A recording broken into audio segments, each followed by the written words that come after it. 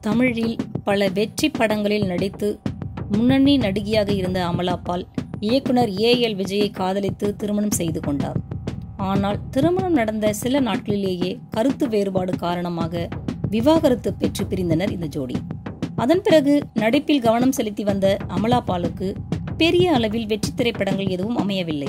இதனால் சோசியல் மீடியாக்களில் கிளாமர் புகைப்படங்களை வெளியிடுவது என்று சில சர்ச்சைகளில் சிக்கி வந்தார் அமலாபால் இந்த நிலையில் அவர் தன்னுடைய ஆண் நண்பர் பவிந்தர் சிங் மீது காவல்துறையில் புகார் ஒன்று அளித்துள்ளார். அதில் அமலாபாலுக்கு பாலியல் தொல்லை கொடுத்ததாக கூறப்பட்டுள்ளது. இந்த புகாரின் அடிப்படையில் தற்போது காவல்துறையினர் அவரை கைது செய்துள்ளனர். அமலாபாலுக்கு விழுப்புரம் மாவட்டம் ஆரோவில் சொந்தமான ஒரு வீடு இருக்கிறது. அங்கு தான் அவரும் அவருடைய காதலரும் தனிமையில் இருந்துள்ளனர்.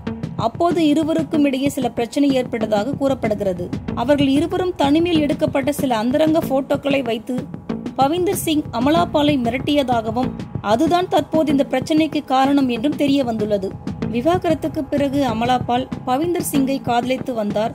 அது மட்டுமில்லாமல் காசு கேட்டும் அவர் தொல்லை கொடுத்ததாக கூறப்படுகிறது.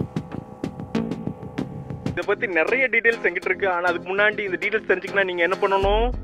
யார் லைக் பண்ணுங்க ஷேர் பண்ணுங்க கமெண்ட்ல திட்டாதீங்க.